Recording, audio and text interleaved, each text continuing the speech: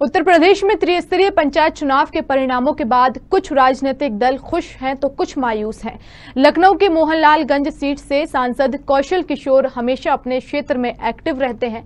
चुनाव परिणामों को लेकर उन्होंने कुछ कर्मचारियों और अधिकारियों पर मिली भगत का आरोप लगाया है।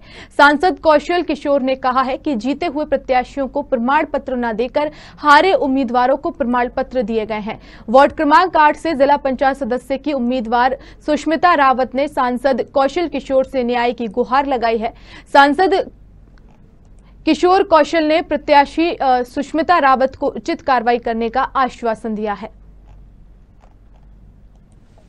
सर, मेरे कुल मत तीन पाँच हज़ार तीन मत मिले थे और गौरैया ग्राम सभा 219 बूथ संख्या में मेरे 305 मत मिले, जिसमें शून्य दिखाकर वहाँ जिला पंचायत फ़ाइल यहाँ माल के आर ने भेजा।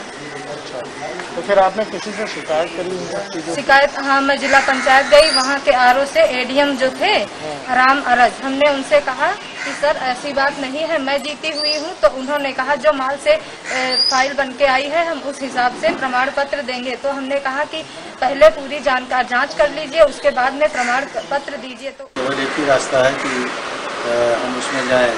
इलेक्शन पटिशन लेकिन ऐसा कोई इस तरह का ज़रूरी नहीं है।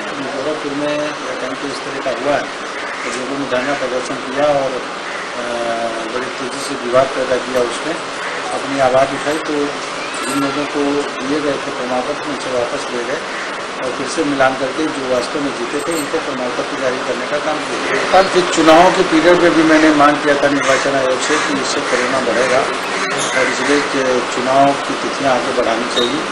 हज़ारों मतदान कर्मियों द्वारा और जो गए पोलिंग सेंटर पे गए लोगों को कोरोना वायरस की वजह से डेथ हो गई बड़ा निर्वाचन आयोग को इस पर संज्ञान लेना चाहिए। और उसमें माननीय उच्च न्यायालय ने, माननीय सुप्रीम कोर्ट ने